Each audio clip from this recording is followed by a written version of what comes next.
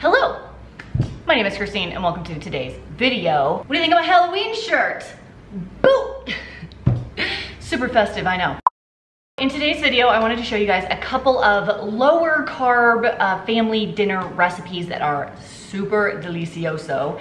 And we're gonna start with cream cheese chicken with spaghetti squash. So this is from my garden and I'm gonna cook it in my Instant Pot because spaghetti squash in the Instant Pot is life changing. Stop wasting your time with the microwave, stop wasting your time with the oven. This, it's like 25 minutes or something like that. People have told me that you can just put the whole thing whole and not chop it up. Feels pretty ballsy. I was gonna try it and then it realized that mine actually doesn't fit. It's too big, the stem is too big. So I am actually going to need to cut this a little bit and then we'll stick this in here and get it going. And while it cooks, we'll prep the chicken. Cutting, I think even if I just cut that off, I could, I could fit it and then I wouldn't have to cut it anymore. But the problem is, oh my gosh, why? Oh, a really ripe, I can't even talk, skitty squash is like ridiculous. I feel like I'm gonna chop off a finger. This, I do not recommend this. Please do not do this at home. Do not do this at home. Ancestors guide me. Oh my gosh, what the heck? Ugh, okay, that's too, that's too small of a knife. That's what it is. I need a thicker knife. I have a new knife coming. Why isn't it here yet? I, oh, that's so much easier. Oh my gosh, yeah. We just needed a heavier duty, heavier, heavier duty, I can't. A heavier duty knife. There it is. Okay, go. I promise I work out. So sweet. And fit. We're so fit. Oh yeah. Oh. Yes, look at that. Got about a half a cup of water. Don't spill, don't spill, don't spill, don't spill. Oh, yes.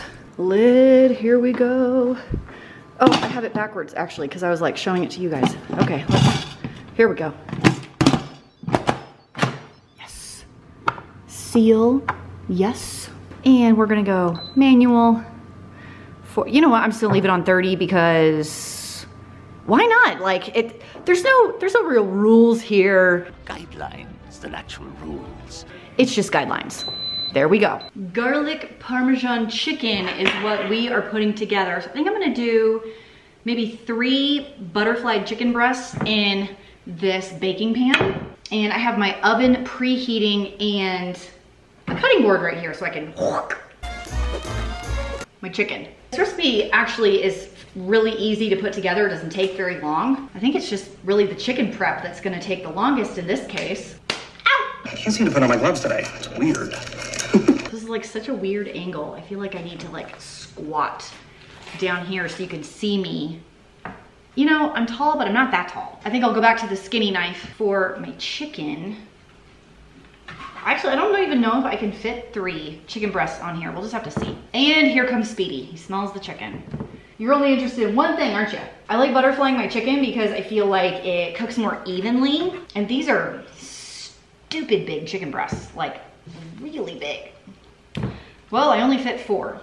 Maybe I'll do another half. This is a nine by 13 dish. Well, they're kind of like overlapping a little bit, but that's gonna that's gonna have to work. The rest of this chicken, I'm going to just chop.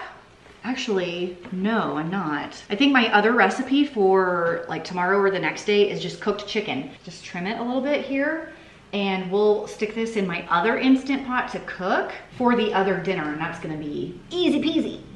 So that was like a family pack of chicken and I just got two meals out of it with I think a generous amount of chicken. So let me take these off, get rid of all this chicken juice and we will mix up the sauce that goes on this chicken. Eight ounces of cream cheese. Speedy is still over there like licking his chops.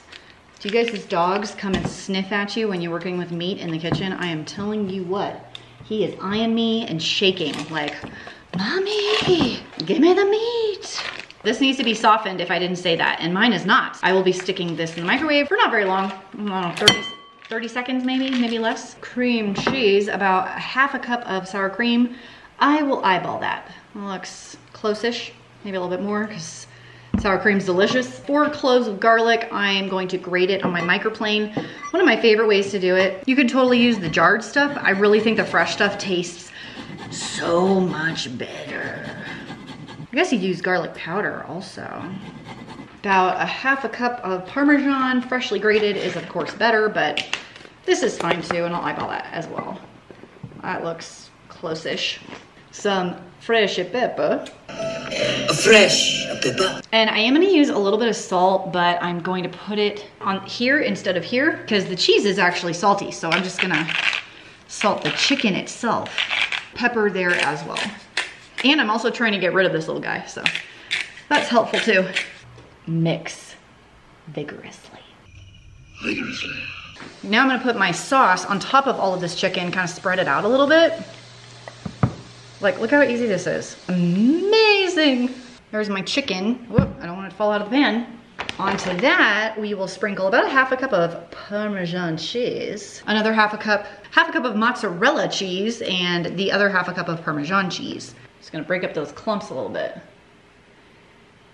Stick it into a 375 degree oven for 25 to 35 minutes or until the chicken is cooked and we will serve it on our spaghetti squash time. Should be totally cooked. It's very, very hot, so I'm trying to not like burn my fingers here. Now it's very easy to cut in half. Ugh, ow. Oh, do you see the steam? Now it's easy to grab a spoon and kind of scrape out the middle part. We don't want that. And since I grew these spaghetti squash myself, I actually think I could keep the seeds, maybe not if I cooked it, but in a raw one, and I can plant them again next year since I grew it myself. Ow, ow, ow. Or you can throw them in your compost pile and see what happens. I'm doing that this year. I'm throwing a ton of like tomato guts into my compost pile. I'm interested to see if I have any volunteer tomatoes. You can get a serving bowl or whatever and a fork and just kind of scrape it off and I'll just fall right out. Spaghetti squash like a boss. And now all you gotta do is just add like butter, salt, pepper, garlic, whatever seasonings you like on your spaghetti squash. Now's the time. Give this video a thumbs up, thanks. Oh, it's so hot. Ah! I should be wearing a glove. Oh my gosh, there's a glove here. Oh, there we go. I tell you what, the wheels are always turning. Who can quote that movie? It's a Steve Martin movie. Boom. Let's put the dinner together. In order to give me some dinner inspiration, Green Chef agreed to partner with me on today's video. Green Chef is a USDA certified organic company and they offer you guys meals for a variety of lifestyles, which can include vegan, vegetarian, paleo, and keto, which is the box that I got for today's low carb cooking video. Now, as you could clearly see, Green Chef offers contactless delivery to your doorstep for super easy home cooking. So if you guys are trying to switch up your meal plan, maybe trying to find a new way to eat, Green Chef has a wide variety of high quality clean ingredients that you can feel good about eating. I have found that the recipes are really, really fast to put together and make. They're easy to follow the step by step instructions. There's chef tips and pictures to help you along. I think part of the reason that the recipes are so fast to put together is that it includes some pre made sauces, dressings, and spices so you can get a huge punch of flavor in very little time.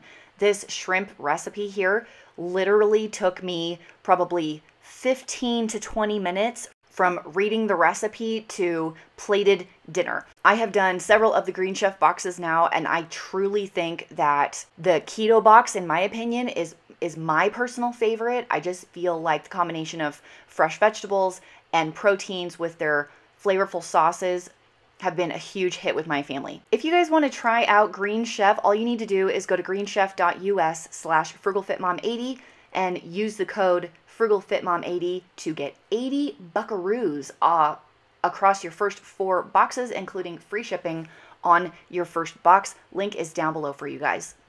You didn't think that you were going to get through a Christine video without some sort of cooking drama, whether it's flinging food on the floor or me crying because I'm cutting onions. I cannot figure this out, you guys. Uh, the running under the cold water doesn't work for me. Like, I don't know. It's just, I need to wear swimming goggles when I cut onions, truly. This box was so fun because they sent these daikon radishes, which I have never had before in my life. I've seen them at the grocery store, but they're really, really big and kind of scary looking.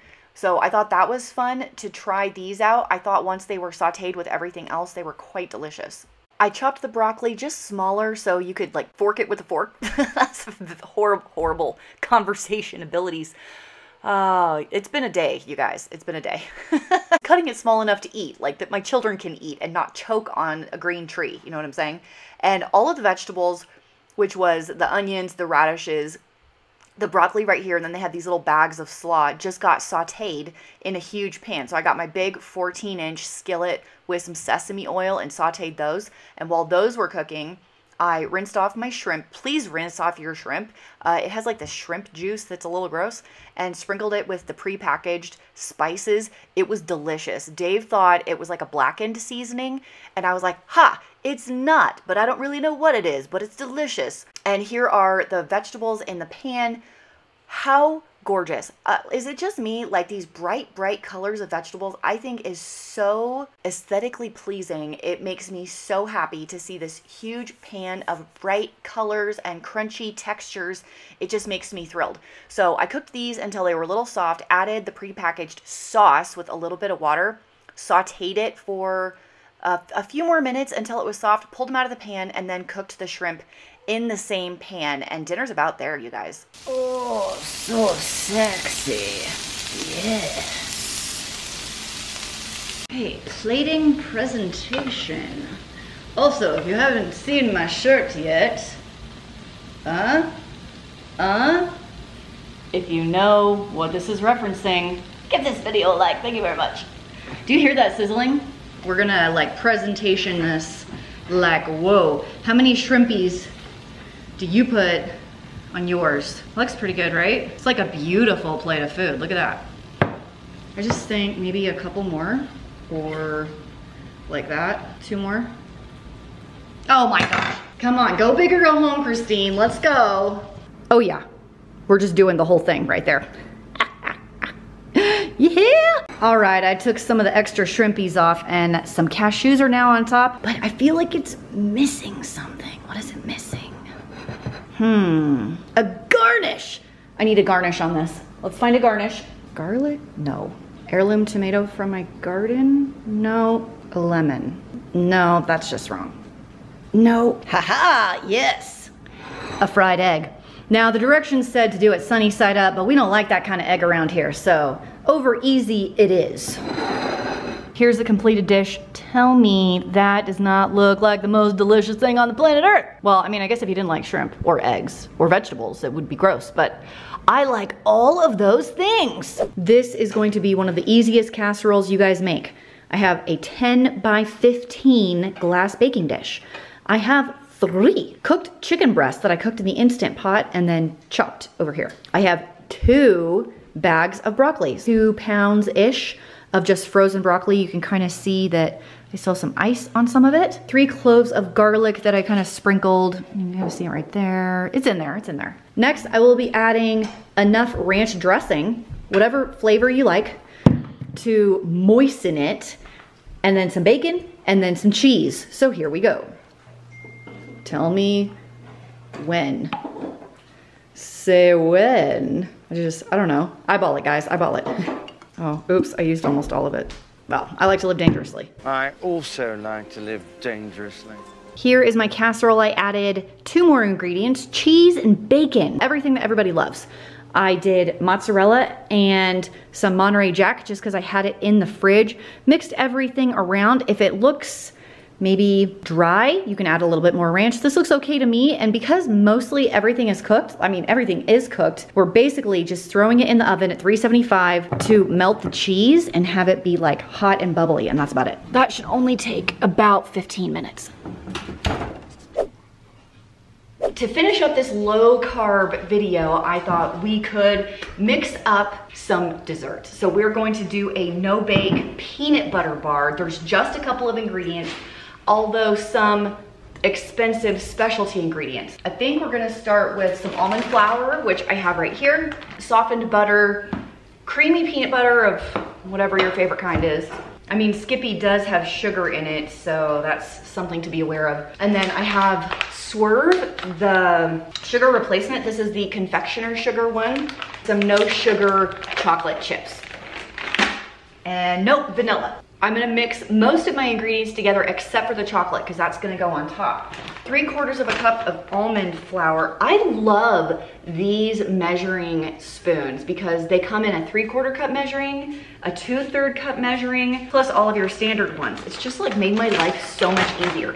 Who has the time to measure a half a cup plus a quarter cup? Not me. I mean, I'm not gonna measure out my things in two different cups like a savage two ounces of butter. That is very specific. Let's get my kitchen scale. If you guys don't have a kitchen scale, uh, they're pretty cheap, around $10, and I find them very, very useful. So I think we're gonna go like negative. So I just put the whole plate on my scale and I'm gonna remove until it says negative two. That's 1.3, 1.7, a little too much. That looks like, like three tablespoons-ish or so. I say three tablespoons, but because this recipe is like by weight, I just wanna make sure it was accurate. A quarter cup of your confectioner sugar substitute. This is so expensive, by the way. So is, so is this. Like, so expensive. So I'm gonna say if you're gonna do like low carb, it might just be worth it to skip the desserts if you're trying to save money on your low carb stuff. But if you have, you know, if you have a little bit of extra disposable income, I guess go right ahead. Quarter cup of the sugar, fake sugar, half a cup of your peanut butter. If you used uh, a more natural peanut butter that didn't have sugar in it like Skippy does, is this would be more like a keto dessert. In this case, it's gonna be more like a low carb dessert. half a cup of peanut butter. And then if you've got kids around, you can have them lick your measuring spoon. Okay, seriously. All of my kids at, at different ages have been found with the entire jar of peanut butter and their finger hiding and licking it just like straight out of the jar. Uh, I have a video of Andrew doing it when he was a year and a half. He just, he had the jar. It was so, so cute. He had the jar and he was like doing this with his little chubby hand, right? Like this. And his whole face is covered in peanut butter and his whole like fat chubby hand and arm are covered in peanut butter. And I was like, Andrew, what are you doing? Eating peanut butter. oh yeah, why's that? I like it. Ryan, my youngest, is eight right now. Oh my gosh, he's almost nine. What the what? And I just found him hiding like under the coffee table downstairs with a jar and a knife, like doing this while he was watching a movie. And then one teaspoon of vanilla, which I'll eyeball like that. And then stir it together and it's gonna be kind of, I mean, it's got peanut butter, so it's gonna be sticky. Oh my gosh, I don't have my spoons. Where are my spoons? I feel like a wooden spoon is a good application here because it's like sturdy. In retrospect, I actually don't think a wooden spoon is a good plan. It's more like I should mush it with the back of the spoon, really. What are you making? Um, sugar-free peanut butter bars. Oh, yummy.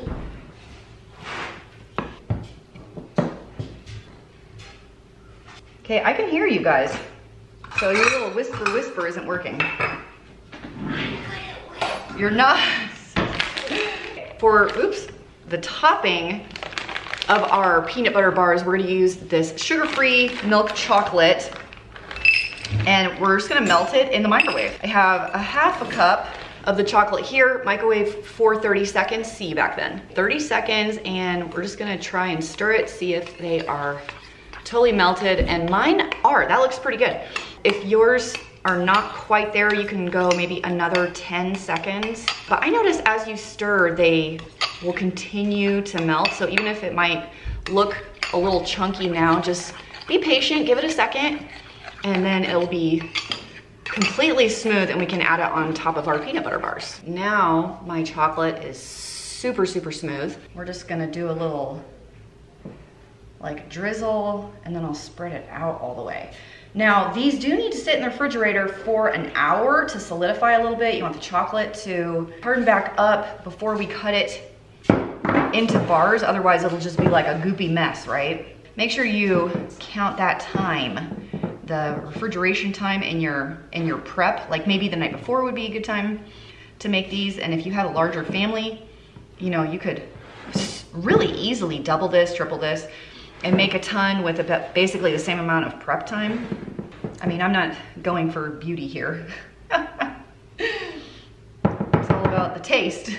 Here are my peanut butter bars. It's just a super thin layer of chocolate. You can kind of see how thin this is on bottom. So they shouldn't be that big once you actually cut them. It's just, I mean, these are wicked high in calories, even though there's no sugar or very, very little sugar. You could probably cut a good size square like this instead of it having it be this teeny tiny little bite because they are so thin. So into the refrigerator, this goes. Those are all the recipes that I have for you in today's video. They will all be linked down below for you as well as any specific tools that I mentioned in today's video. Once again, if you guys are feeling in a rut with your meals and you wanna try out Green Chef for yourself, don't forget I have a link down below to get $80 off and free shipping off of your first month when you sign up at greenchef.us slash frugalfitmom80 or you can use the code frugalfitmom80 and it should give you the same deal so if you guys sign up tell me which box you like. The keto box is by far my favorite. I think the sauces are just so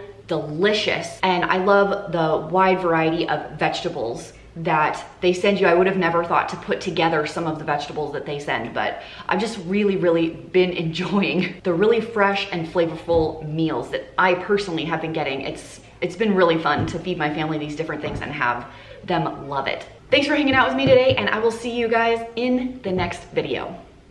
Bye-bye, bye, bye now, goodbye. Goodbye, goodbye now, goodbye.